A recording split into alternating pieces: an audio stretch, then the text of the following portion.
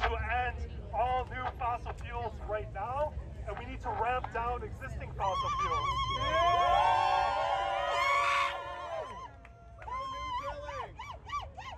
Our children are at risk.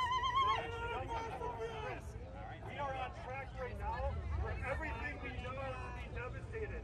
All of the impacts that we're seeing, the heat, the flooding, the fires, the sea level rise. Yeah, you'll have fun. We'll have fun we just did a big, uh, a big event at American University. I love pink clothing. So there you go. Yeah, you, you fit in. Right. Do it! I'm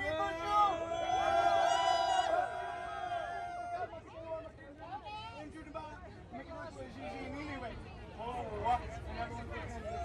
Now that way, too. I enjoy Peltier. I like Turn them out. And I watch us.